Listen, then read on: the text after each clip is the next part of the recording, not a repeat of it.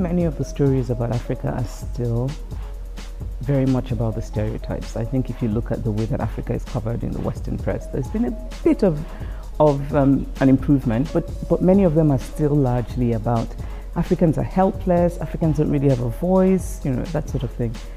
Um, what would I recommend? More stories. We just, we need more stories. The more stories we have, um, the more likely we are to challenge those very simple stereotypes. Well, it depends on the day. Some days I wake up and I'm very optimistic, and other days I, woke, I wake up and I just think, oh God, everything is going down.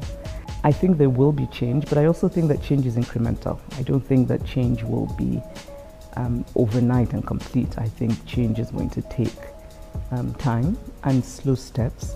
And for me, what matters is that those steps continue to move forward, right? Because what worries me sometimes is that if there's a bit of progress, then there's a backlash, and then we go back. Right? That if, for example, women get political power, that suddenly there might be a backlash and suddenly people won't want to vote for women to have political office, that kind of thing. That's what I fear. But I think in general, I'm, I'm mostly optimistic. I am. I really believe that people can change.